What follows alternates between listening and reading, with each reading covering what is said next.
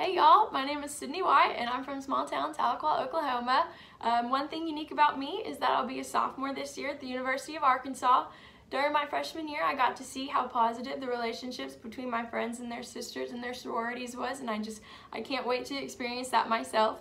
I uh, can't wait to be back on campus this fall, and I hope everyone stays safe and healthy. Thank you.